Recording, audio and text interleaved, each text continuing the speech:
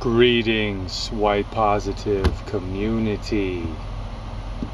Your blue ninja, one of many apostles for white well being, here with you, sending you all my best, warmest greetings with love, respect, appreciation, admiration, and support as usual. Hope you're all doing well. Today is a momentous day, as always. Thursday, January 14th. Realized that my instinct was right. Yesterday, it was the 13th. I thought it was, but I think the guy at the other place I was at yesterday messed up. So, should have trusted my instinct there. And we should all trust our Western biospirits. So, indeed, 13th yesterday, Wednesday, today, Thursday, the 14th. Um,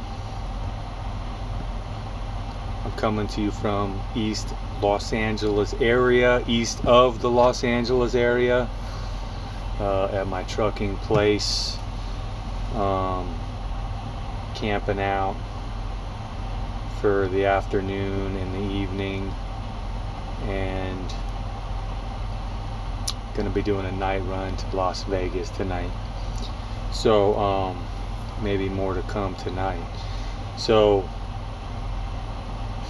again, I hope you're all holding up well in these times that we're in. Just like Charles Dickens said, I think it is absolutely correct now.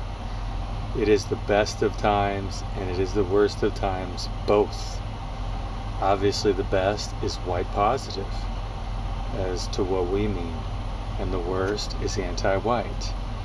It is the most white positive times and it is also the most anti-white of times.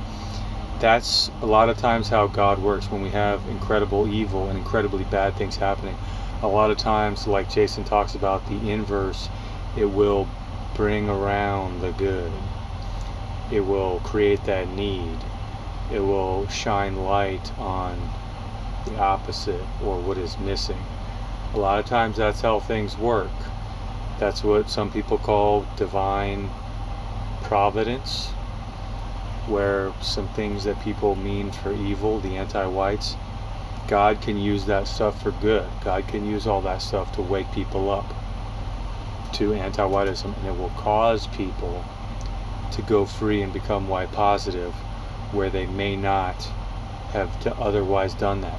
Sometimes, even though it's painful, we need that jolt, we need that jab. Like Jason talks about with the military, with all the stuff, the acts he's been talking about from Biden.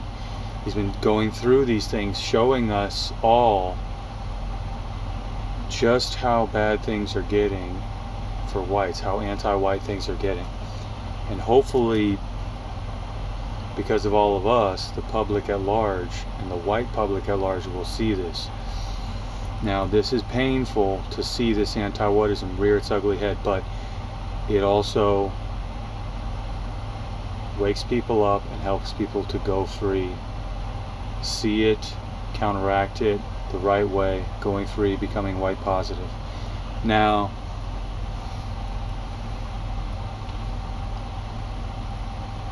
We're going to go with another sermon here. Another sermon before I try to lay down to get some much needed sleep. I'm in that delirious state. Sometimes I have trouble turning my brain off. um,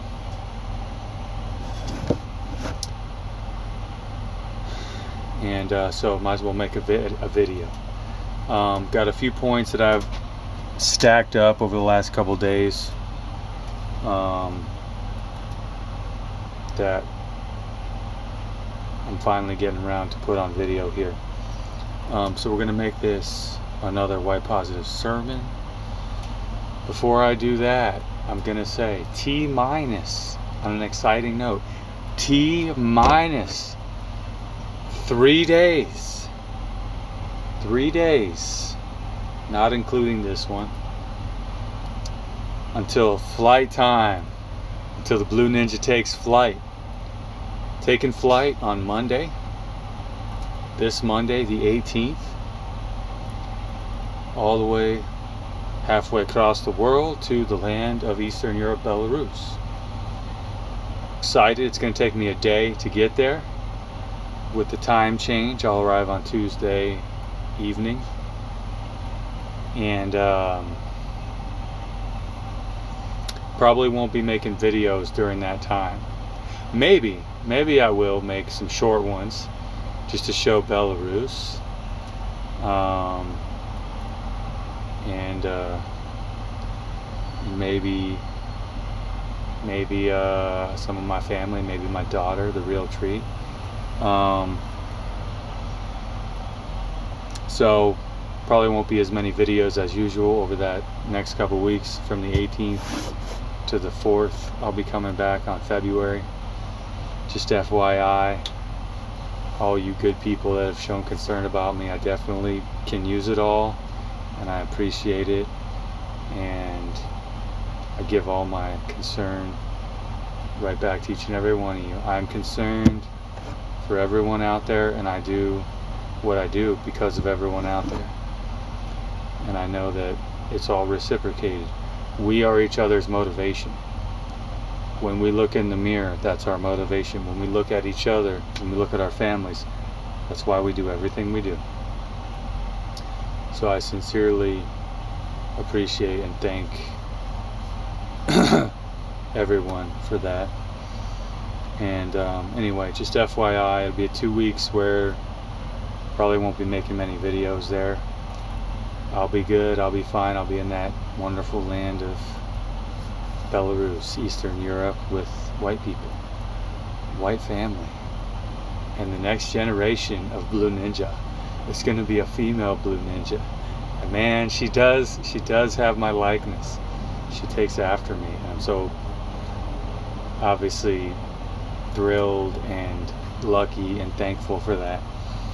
Um, i think it's pretty clear that she's she's she's a spitting image of the blue ninja and uh, so that's very exciting obviously um, so T minus three days. Got this trip to Vegas and then some work over the weekend and I'll be working all the way up until Sunday and then I'll be getting ready to head out on Monday.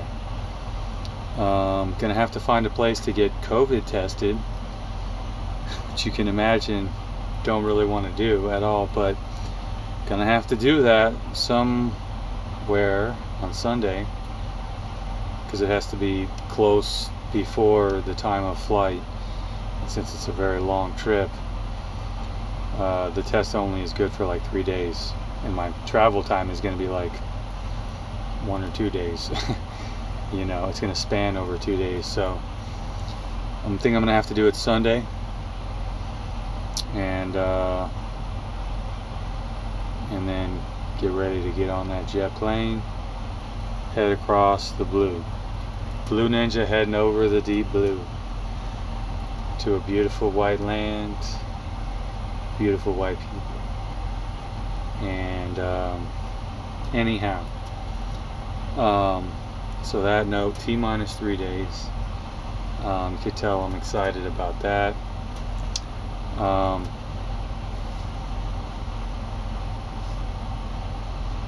and now, getting on to the sermon for today. Um, got it written down, a little piece of paper that I from the last hotel I was at a few days ago. Um, been adding to it over the last couple days. Some of these points I've already talked about previous videos, um, and some of them I haven't. So before I get into the new ones, just a reminder of what we've talked about prior. Last video talked about us being on on a mission on a mission from God. We are on a white positive mission from the Lord. Talked about that. This is why because it is a spiritual battle. Why is it a spiritual battle like we talked about? Because anti-whiteism is a religion. It is not a science. It is not a policy. It's reflected in policies, but at its root, it is a religion based on myth, based on complete falsity. So, because anti whiteism is a religion, that's one of the reasons this is a spiritual battle.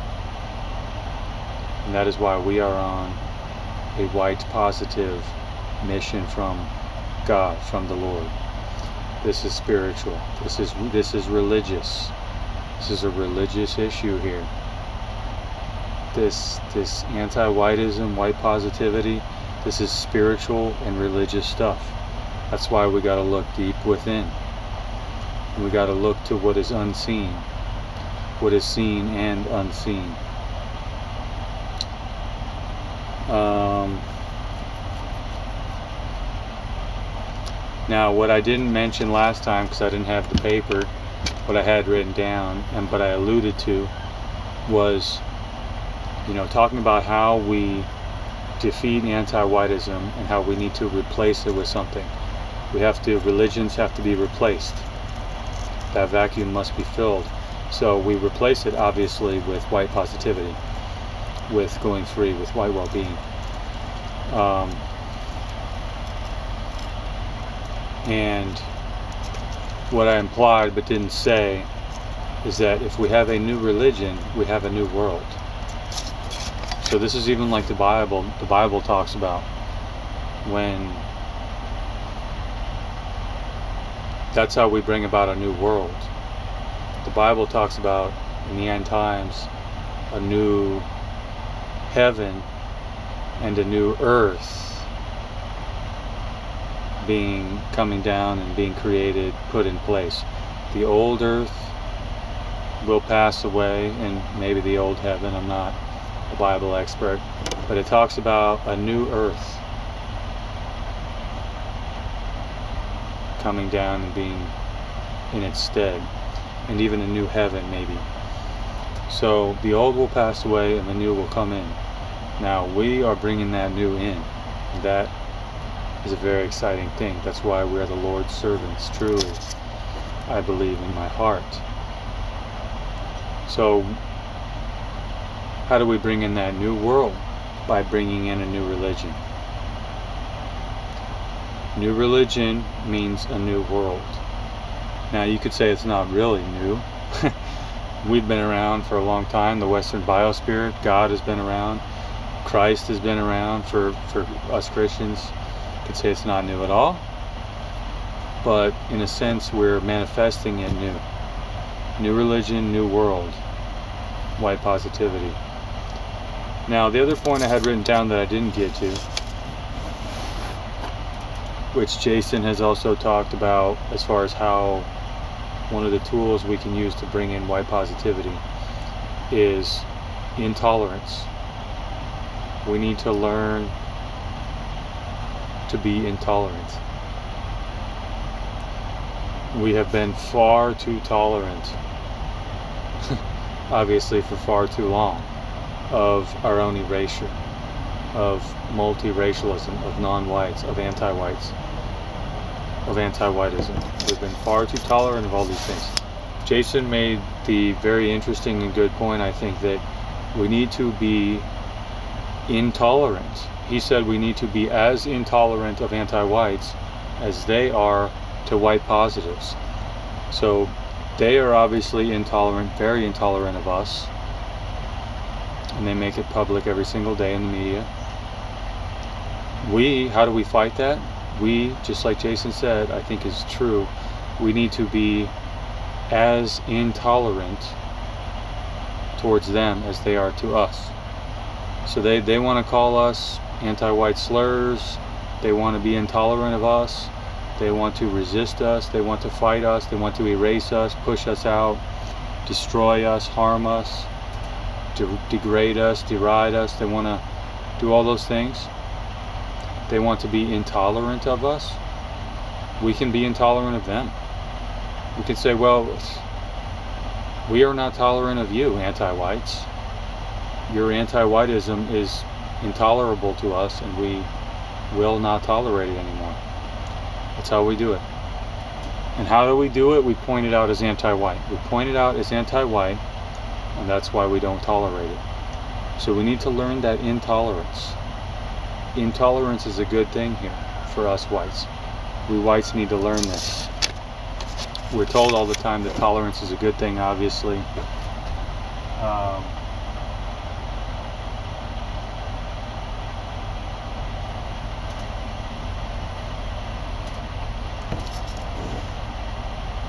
obviously that works against us and that was a trick. So we need to learn to be intolerant. That's hard for us because we've all been conditioned to be tolerant of everything for so long.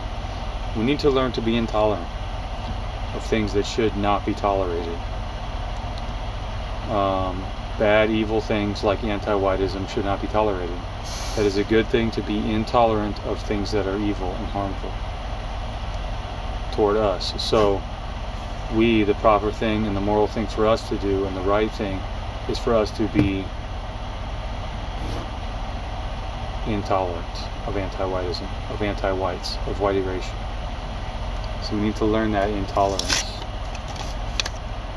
And um,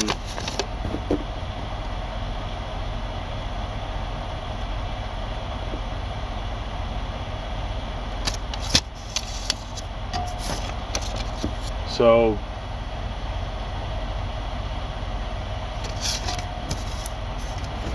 I guess I'll just mention a few more things here, keep this video relatively short um, as I'm starting to get a little woozy here, you can tell.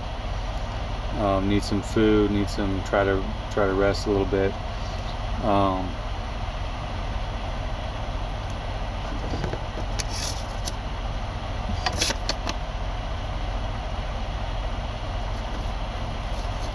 some of the anti-whiteism I saw today, or that I've seen over the last couple of days. Um, I saw on YouTube there's a new Amazon original, wouldn't you know it, movie out apparently called One Night in Miami. Not that any of us probably pay any attention to this, other than just noting it that it's anti-whiteism. Obviously, we would we wouldn't watch these movies, but just noting how extraordinarily extreme companies like Amazon are getting um, with their anti-whiteism. Um,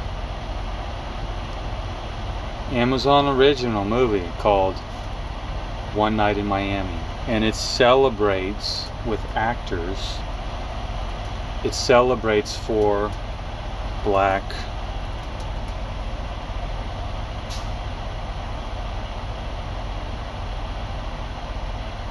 For black people in America who were all anti-white. Um, almost guaranteed. Um,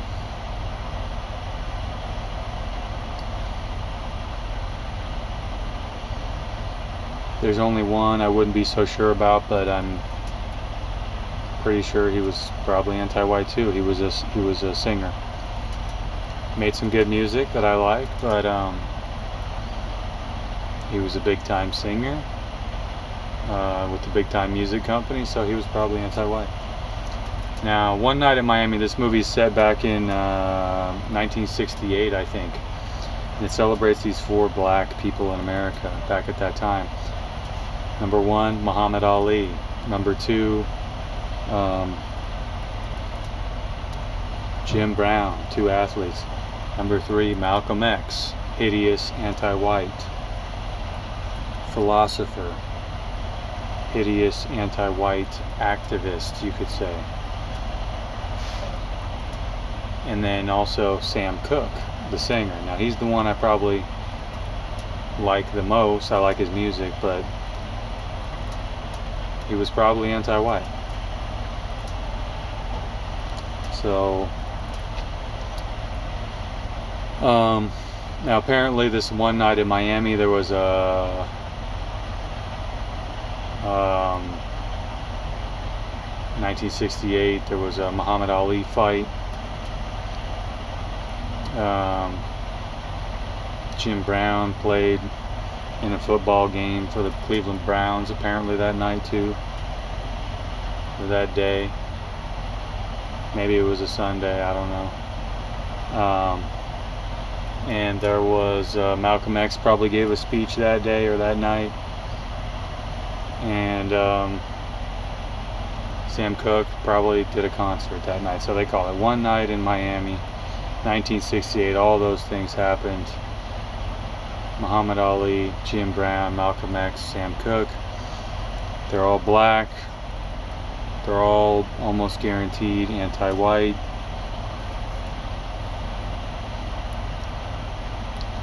And so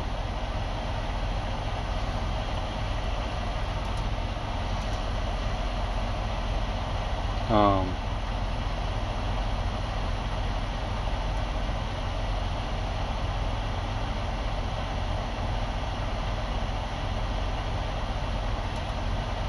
Now we know that era in the 60s was anti-white.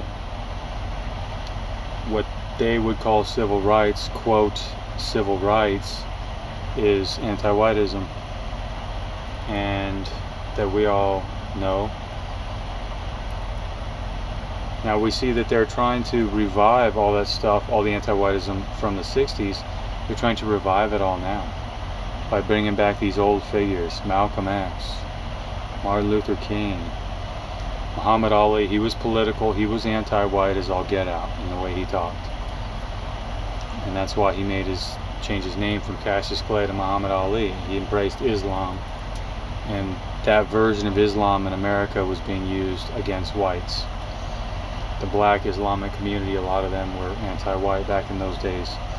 So Malcolm X influencing Muhammad Ali, Cassius Clay,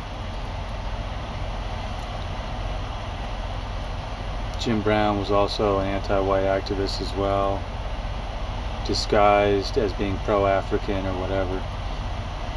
Um, and Sam Cooke probably was as well. Um, so what we see now, why is Amazon making a movie about this? Well, they're, as we know, they're just trying to revive all that stuff from the 60s. I've seen lots of stuff where they're trying to bring back all that stuff, all that 60s era anti-whiteism, using the anti-white slur that begins with an R, A-C-I-S-M, reviving all that stuff, just to be anti-white, as we all know. And like Jason talks about, every generation that it comes around, passing generation, it is more intense. It is more extreme uh, it is to a more extreme level anti-white. So that's what we're seeing now as compared to the 60s, just the same anti-whiteism, more more of it and more intensity of it. Um, so that was disgusting seeing that uh, movie from Amazon, completely anti-white. Um, now I'll just finish up here by talking about um, a couple other things I saw. One thing I saw a bumper sticker today that said resist hate. Just said resist hate. Now, what does that mean? As we all know, hate in the anti-white narrative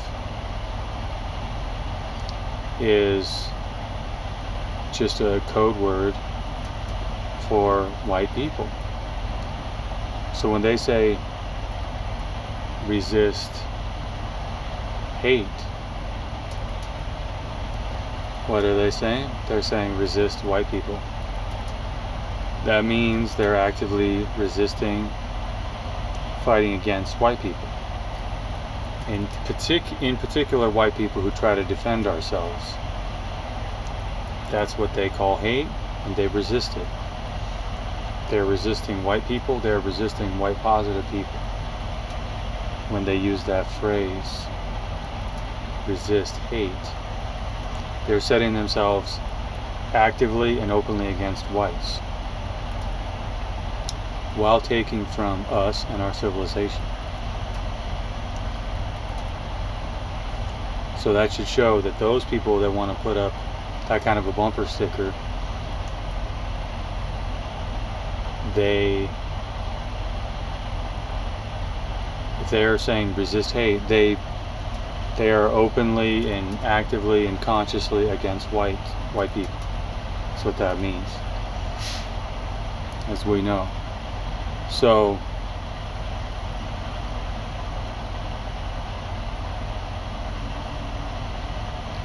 so how do we defeat it? We defeat it by getting outside of that narrative, the anti-white narrative, and we just call that, if somebody wants to call us haters or hate or call our speech hate speech, we just say that's that's the anti-white narrative. You're speaking with anti-white terms inside the anti-white narrative using anti-white slurs, which is all that is. And I am not in that narrative. I am going free of that anti-white narrative. And I, and many others, are white positive. We serve white well-being. Period. That's how we defend against that, as we all know. We are outside the anti-white narrative, where all that stuff is. We are in our narrative, white positive, with the one objective as the well-being of white people. Now,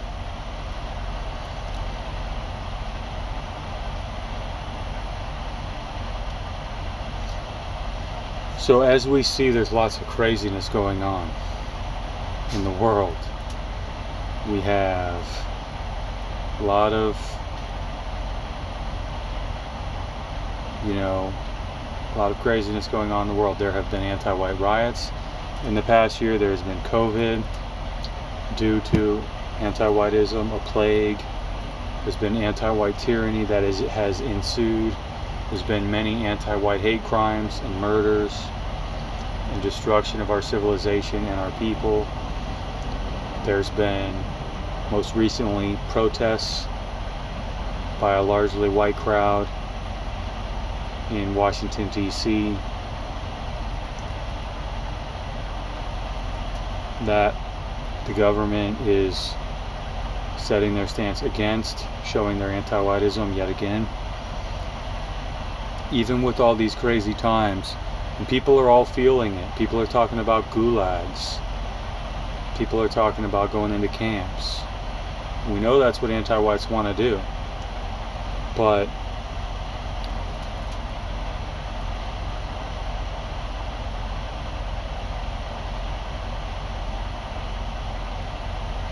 we see other people going a little bit crazy. But we need not go crazy. We need not panic. Why? Because we are inoculated. We are inoculated from the disease of anti-whiteism. Just like Jason talks about, we reach children, white children, we, we reach white people, and anyone else who wants it with this inoculation, with the cure for anti-whiteism, which is going free, serving white well-being, becoming white positive. We are inoculated because we are outside of the anti-white narrative. All the bad stuff, all that chaos going on is happening inside the anti-white narrative. We can step outside of that and have an outside perspective by going free by stepping outside of the anti-white narrative. Being white positive, that is how we are free from going free from all the craziness in the world because it is an anti-white world. It is the anti-white narrative. We are inoculated by stepping out of that, going free. So we can look at it from kind of an outside perspective and know that we have an inoculation. Now, our job obviously is to spread this inoculation, this cure, to as many people as we can, as many whites in particular. All, of course, are welcome to go free from the anti white narrative and become white positive. We whites need to do it the most. We have an imperative for our own survival and well being. To carry on our great white Western bio spirit. Now, so that is why we can take hope why we can be grounded and level headed even in these crazy times because we are inoculated. Now, we have a duty. We are inoculated, but just like Jesus Christ told his disciples, his 12 apostles, he said, "Don't don't put a a basket over your lamp, over your light. Don't cover or hide your the light, the gospel that you have that has been imparted onto you. Don't just keep it for yourself and hide it. Spread it to the world. Let it shine. Uncover that light. Uncover that beautiful white western light, which I would say as a Christian is also the light of Christ, the Lord. Uncover that light, the gospel of white well being Uncover the light, let it shine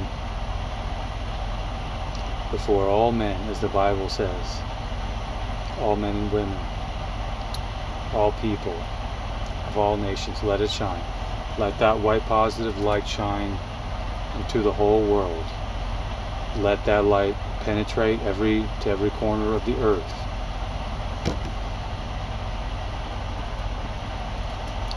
and let's reach everybody with this inoculation, this message of hope, this gospel of peace, of white well being. Let us let us spread this to as many people as we possibly can.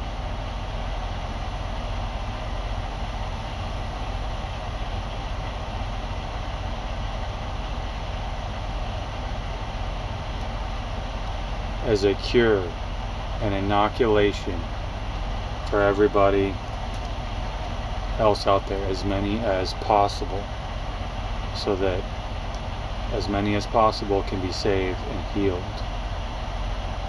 We are healed, let us keep healing others. Let us continue healing ourselves and healing others. So, good apostles, keep on with our glorious mission. Stay strong, keep heart. And I'll end this now. you can probably tell I need to lay down. Um, I'll see you all soon. I love you all. God bless each and every one of you.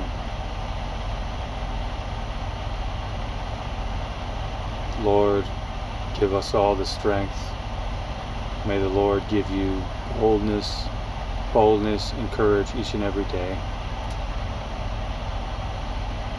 The Lord will come to the aid of those who do His work.